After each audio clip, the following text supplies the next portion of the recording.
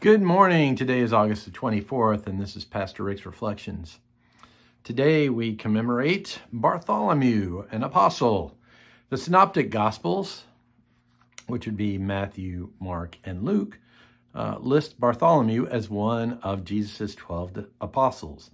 Bartholomew became identified with the Nathanael of the Gospel according to John. By tradition, he was martyred by being flayed alive before being decapitated. He is honored as the patron saint of the Armenian Apostolic Church. Uh, because in 1572, on the Feast of Bartholomew, thousands of Protestants were killed by Roman Catholics in Paris, and because beginning in 1894, thousands of Armenian Christians were massacred by the Turkish Muslims, the day has been marked by prayers for the end of religious violence.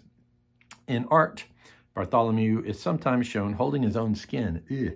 In Rome's Sistine Chapel, uh, Michelangelo's depiction of Bartholomew holding his flayed skin is said to bear Michelangelo's own face. And this is from Matthew chapter 10. Then Jesus summoned his twelve disciples and gave them authority over unclean spirits to cast them out and to cure every disease and every sickness. The names of the twelve apostles, first Simon, also known as Peter, and his brother Andrew, James, son of Zebedee, and his brother John, Philip and Bartholomew, Thomas and Matthew, the tax collector, James, son of Alphaeus, and Thaddeus, Simon the Cananaean, and Judas Iscariot, the one who betrayed him. Let us pray.